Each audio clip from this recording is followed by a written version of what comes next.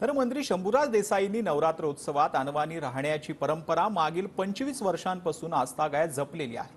शंभूराज देसाई नवरात्रीत एकही दिवस अनवानी फिरून जे आहे ते आपली दैनंदिनी कामं करत असतात. शंभूराज देसाईंनी आपल्या आईकडून ही शिकवण मिळवल्याचं देखील सांगतात